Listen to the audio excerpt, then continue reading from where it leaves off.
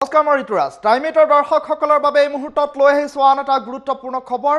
হোজাইৰ উদালি কাণ্ডৰ আন দুজনক পুনৰ গ্ৰেপ্তাৰ কৰিছে আৰক্ষীয়ে। শেহতীয়াকৈ দেখিবলৈ পোৱা গৈছিল চিকিৎসক নিগ্ৰহৰ ঘটনা সংঘটিত হৈছিল হোজাইৰ উদালিত আৰু তাৰ পাছতেই সমগ্ৰ অসমজুৰি উত্তেজনা অব্যাহত আছিল সেই ঘটনাক কেন্দ্ৰ কৰি।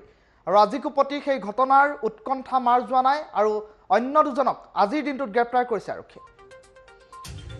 উদালি কাণ্ডৰে জড়িত ইজনৰ পাছত সিজনক গ্ৰেপ্তাৰ কৰিছে আৰক্ষীয়ে।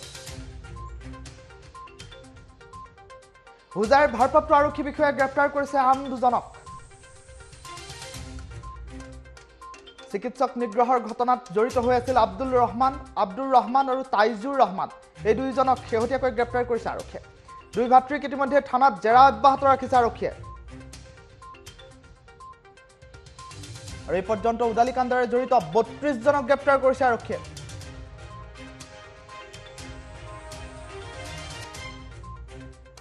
এই মুহূৰ্তত টাইম এইটৰ বাওঁফালৰ স্ক্ৰীণত এখন স্থিৰ চিত্ৰ দেখুৱাই আছোঁ। এই স্থিৰ চিত্ৰখনত থকা দুয়োগৰাকী ব্যক্তি হৈছে তাইজুৰ ৰহমান আৰু আব্দুৰ ৰহমান। তাইজুৰ ৰহমান আৰু আব্দুৰ ৰহমান সম্পৰ্কত ভাতৃ বুলি জানিব পৰা গৈছে।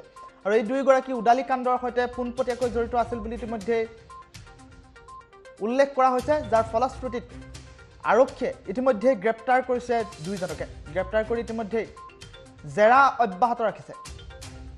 উদালি কাণ্ডৰে জড়িত ইজনৰ পাছত সিজনক ইতিমধ্যে গ্ৰেপ্তাৰ কৰাৰ খবৰ আহি পৰিছে। এই পৰ্যন্ত বত্ৰিছজনকৈ লোকক গ্ৰেপ্তাৰ কৰিছে।